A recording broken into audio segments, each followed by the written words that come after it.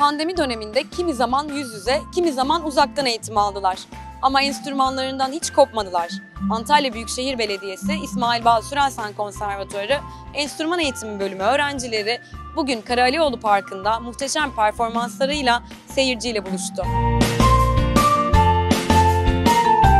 Bugün enstrüman eğitim bölümümüzün 15 öğrencisiyle birlikte e, bir konser verdik. Uzun bir aradan sonra seyircimizin karşısında bir konser vermek de bizi ayrıca mutlu etti.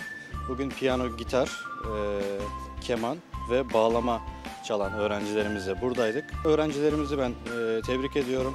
Uzun zamandır pandemi nedeniyle müzisyenler konser veremiyor. Bu yüzden bugün burada olmaktan çok mutluyum. Bence müzik çok güzel bir şey. Yani dinlerken zevk alıyorum.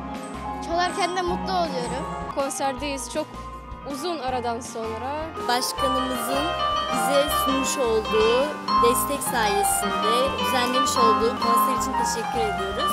bir konser verebilmek hani gerçekten iyi oldu. Bu bize bir detoks gibi bir şey oldu. Yani çok güzel bir Ben ilk defa konser verdim ve çok güzel hissettim kendimi sahnede. Belediyeye bu konuda teşekkür etmek istiyorum. Çünkü bizim kurumumuzda özellikle biz küçük yaştan öğrenciler almaya önem veriyoruz ve özen gösteriyoruz.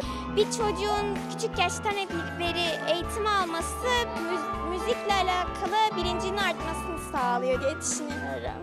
İsmail Baha Sürelsan Konservatuvarımız kültürel ve sanatsal anlamda eğitimlerimize pandemi döneminde de e, hızla devam ettik. Çok kaliteli bir e, eğitimle e, öğrencilerimizi bugün burada bu güzel konseri verebilecek e, düzeye getirdik.